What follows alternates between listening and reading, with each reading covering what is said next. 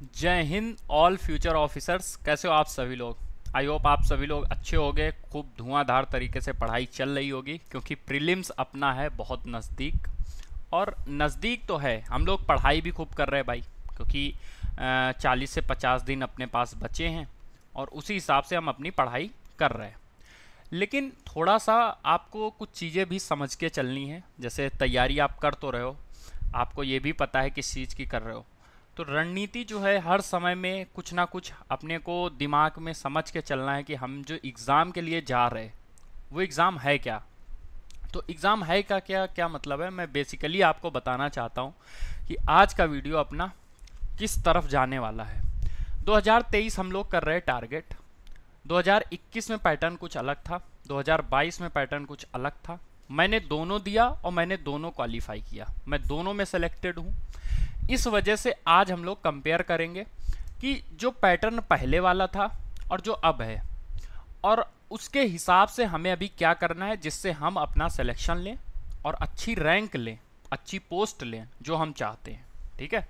तो बहुत important video होने वाला है। पाँच से दस मिनट लगेंगे, समझ लो। फ़ायदा होगा आपका, ठीक है? तो सबसे पहले हम लोग बात यही करने वाले हैं कि भाई फ़ायदा है कि नुकसान है? तो अगर एक वर्ड में भाई सुनना है तो फ़ायदा है। ठीक है? कैसे है वो चीज़ हम आगे समझने वाले आप लोगों की भी ये चीज़ समझ में आती होगी। लेकिन ये सबको पता है कि फ़ायदा है। कि फ़ायदा वो, उस फ़ायदे का मतलब तभी है जब हम वो अपने लिए यूज़ कर पाएँ। उससे ज़्यादा से ज़्यादा हम लोग क्या है? अपना आउटपुट ले पाएँ। जो भी पैटर्न है, जो अभी 2022 में चेंज हुआ था पैटर्न, कि उन्होंने क्या किया? प्रीलिम्स को क्वालिफाई कर दिया। मेंस जो था और टाइपिंग जो कि पहले क्या है? अलग होती थी, उसको एक जगह कर दिया। और जो आपका टीयर फोर होता था टीयर फोर कहो या टीयर थ्री कहो, जो ऐसे होता था, सीधी सी बात करें तो उसको ख़त्म कर दिया काम। तो सबसे ज़्यादा अच्छी चीज़, पहली बात तो ये हुई मेरे हिसाब से कि ऐसे ख़त्म कर दिया। क्योंकि जब मैं 2021 दे रहा था तो कहीं ना कहीं एक डर होता था। डर ये होता था कि मैं लिख के तो ऐसे में कुछ आऊँगा, पता नहीं नंबर मिलेंगे या नहीं मिलेंगे। तो सबसे अच्छी चीज़ जो हुई, वो ये कि ऐसे क्या है, ख़त्म कर दिया। टाइपिंग को क्या किया? पहले क्या होता था, टाइपिंग जो था, वो कुछ पोस्ट के लिए क्या था, नहीं भी आती थी तो चल जाता था। अभी ऐसा नहीं है। टाइपिंग हर पोस्ट के लिए क्या है, मैंडेटरी है। कुछ के लिए स्टैंडर्ड ज़्यादा हाइयर है मतलब आपकी टाइपिंग स्पीड अच्छी होनी चाहिए और कुछ पोस्ट के लिए कम अच्छी होनी चाहिए। तो पहली चीज़ तो हमें दिमाग में अपनी यही रखनी है, अगर 2023 आप दे रहे हो तो टाइपिंग आपकी अच्छी हो।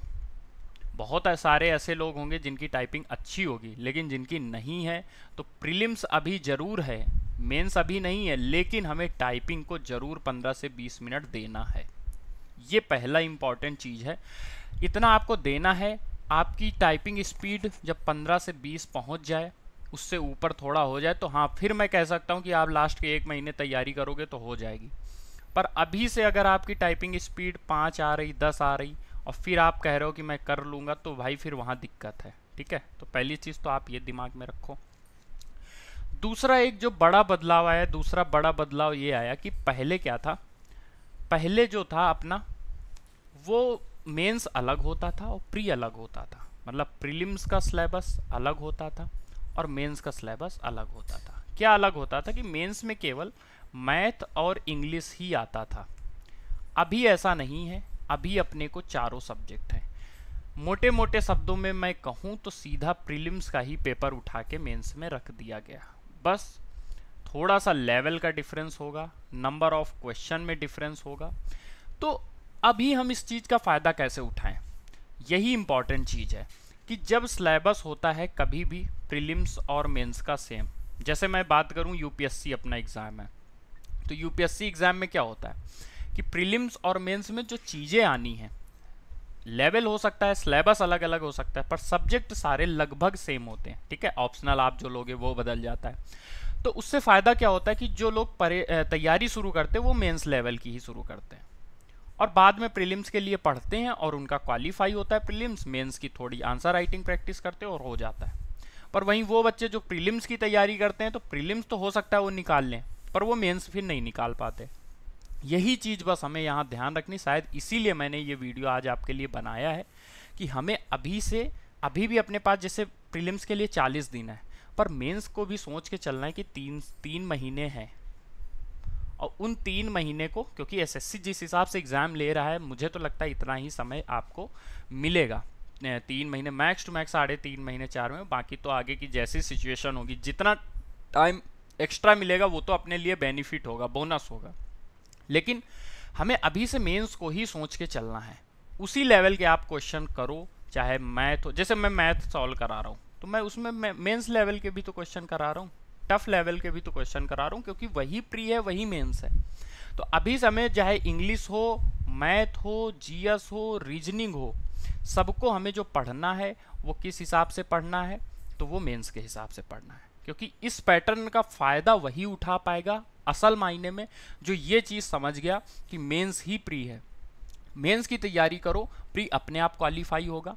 क्वालिफाई होगा क्योंकि मार्क्स आप चाहे 190 भी ले आओ फ़ायदा कुछ नहीं होने वाला। हाँ अगर एओ वगैरह का पेपर आपको देना है, क्योंकि एओ की कट ऑफ़ थोड़ी हाई जाती है तो बात अलग है, फिर आपको प्री के लिए बहुत अच्छे से पढ़ना पड़ेगा।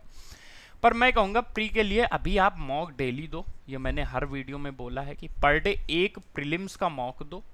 लेकिन जो पढ़ाई होगी अपनी, वो हमेशा दिमाग में मेंस को रख के करो, ठीक है? चाहे वो कैब याद करना हो, चाहे फिर रीडिंग हो, चाहे फिर जीएस हो कुछ भी हो, जैसे जीएस में मेंस में स्टेटमेंट वाले क्वेश्चन आए। तो इवन अगर वो चीज़ भी है तो उसका भी आप ध्यान रखो। हमें जो अभी से पढ़ना है, वो जीएस को इसी हिसाब से पढ़ना है, जिससे हमें मेंस के टाइम दिक्कत ना हो।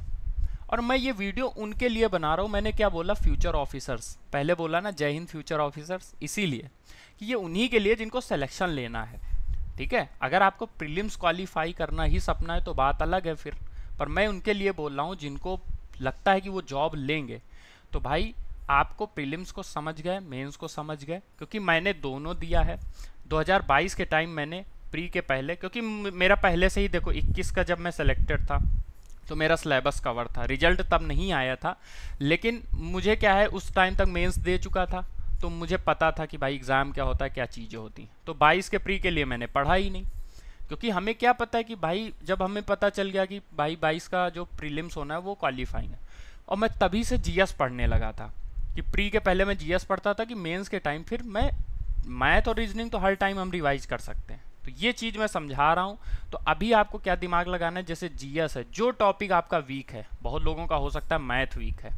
तो मेंस का जब दिमाग में रखोगे कि भाई मेंस में कितना मार्क्स हमको लाना है उस हिसाब से आप अपना सब्जेक्ट देखो, हो सकता है बहुत लोगों का रीजनिंग वीक हो तो अभी से उस पर ज़्यादा टाइम दो।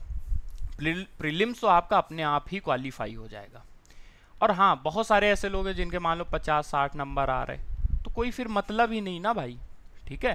तो तब उससे अच्छा आप चौबीस के लिए बहुत अच्छे से तैयारी करो। बाकी मैं आपको देखो, मैथ के लिए मैं अगर बात करूँ, मैं आपको मैथ्स पढ़ाता हूँ।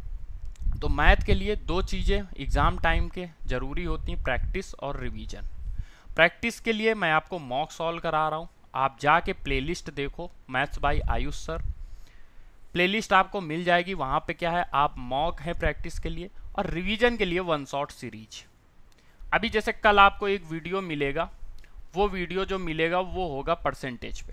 तो एक वीडियो में पूरा परसेंटेज कवर 25 बेस्ट क्वेश्चन मैंने सॉल्व करवा दी उस वीडियो में।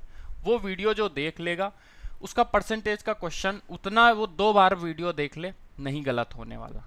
और बस थोड़ी सी प्रीवियस ईयर क्वेश्चन की प्रैक्टिस कर ले। ऐसे ही मैं सारे अर्थमेटिक एडवांस के आपके एक एक चैप्टर पूरा मतलब वन शॉट सीरीज़ के थ्रू मैं क्या करूँगा, एक वीडियो में पूरा चैप्टर क्या है फिनिश हो जाए। तो मैं वही समझा रहा हूँ आपको कि उस हिसाब से तो मैं आपको करवा ही रहा हूँ प्रीलिम्स के लिए, ठीक है? आपको अपने लेवल पे अपना सब्जेक्ट देखना जैसे मुझे पता था मेरा जीएस बहुत वीक है तो मैं वो प्रीलिम्स के पहले इस हिसाब से पढ़ता था कि जीएस का सिलेबस कवर हो जाए अच्छे से, जिससे जीएस में एक अच्छा स्कोर हो, ठीक है? और प्रीलिम्स में आए भी मेरे 30.5 मार्क्स जो जीएस में अपने आप में अच्छा स्कोर है।